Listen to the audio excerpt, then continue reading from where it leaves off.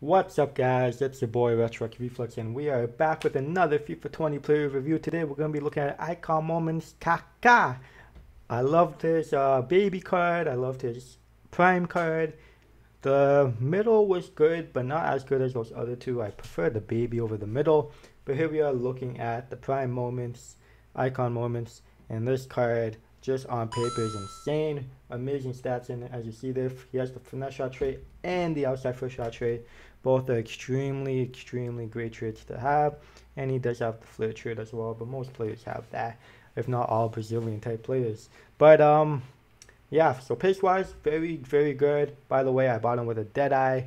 You could put an engine on if you really wanted to, but I just wanted to get that finishing all the way up to 99 increase the long shots and just increase that passing because his passing stats are the lowest stats on this card besides the defending obviously but pace wise very fast I play him as a striker and a cam very effective in both those positions he has high medium so he fits both of those positions very nicely you could also play him as a wide cam but I think he's just it's just better to have him as a central player um, shooting wise very good shooting very consistent finisher very good shot power, long shot. He has the finesse shot trait. His finesse shots are amazing.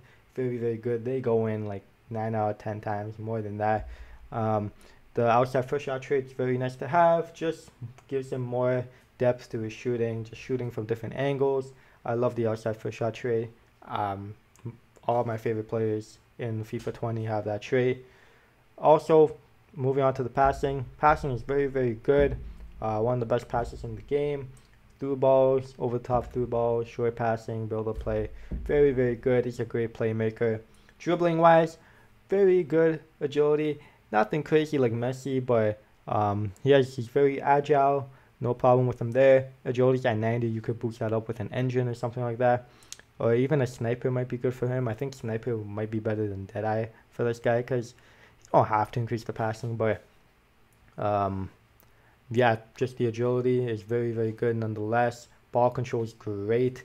Combine that with the 80 strength. Um, 80 strength is good enough. He's very strong as a cam. A cam with 80 strength is good enough for me. Um, very strong. Had to push off the ball.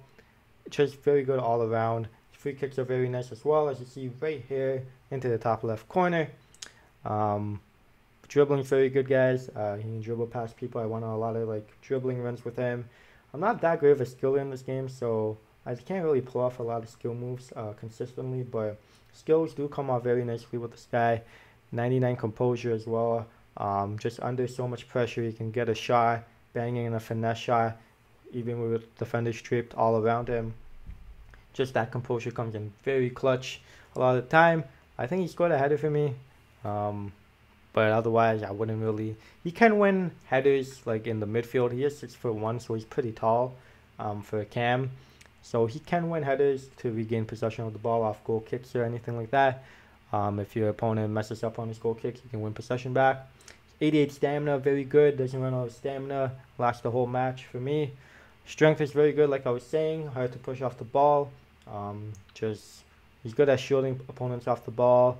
He's just a very, very good cam, guys costs around um, 2 million coins right now. I'm losing a lot of coins on players, man. It's ridiculous, but he's just very good. I'm not even going to go over the pros and cons just because they're so amazing. He has 5 star skill moves, by the way. I don't think I mentioned that. Only thing I would change um, that would make him the best cam in the game for me is a 5 star weak foot. I wish he had, he has 4 star weak foot. I wish he had 5 stars. But other than that, guys, just an elite player. So much fun using this guy. I love Kaká in real life. I know a lot of you do too. He's just a legend. Oh, my phone just went off. Sorry about that. But he's just a legend. Very great player. And, you know, he finally has a card he deserves. Those other cards were amazing. Don't get me wrong. But I feel like Kaká, he just, like this card, this icon moment should be like a 96 at least. Those other cards should be around 90, 92. Um, the prime should be a 92 or 94, but 94 is so this card's very good. Um, I don't understand why they didn't give him a higher rating, but it is what it is. Kaká, very good player in this game. I'm going to be giving Kaká's Icon Moments card a 99 out of 100. Very good player, had a lot of fun playing with them. Uh, just a pretty pricey. Uh, you can get a lot of different players for that price, but he's just so fun to use. He made the game fun to play. Uh, just having him centrally is very, very good, very effective, um, very good in weekend league. Uh, just a great player, guys. Definitely recommend you guys trying him if you do have the coins. Pick him up. And that's all I have today, guys. Thank you so much for the review, uh, watching the review. Leave a like if you did enjoy. Subscribe if you want to see more content. And yeah, just let me know uh, any comment. Leave a comment below who you want to see me review next, or any other questions. Just let me know. And yeah, guys. Uh, thank you so much for watching. I'll see you guys in the next video. I love y'all. Have a great day. Stay healthy and peace.